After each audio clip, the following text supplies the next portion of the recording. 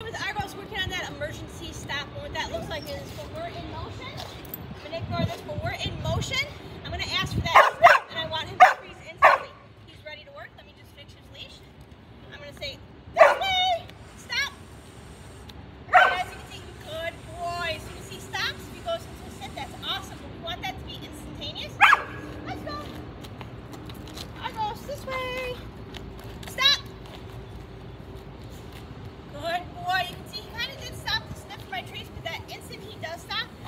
on mark and reward a good point and reward He sees a person. Let's go.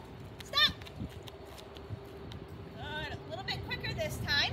The, the importance of the emergency stop is being able to get him to stop when you know there should be garbage or something you don't want him to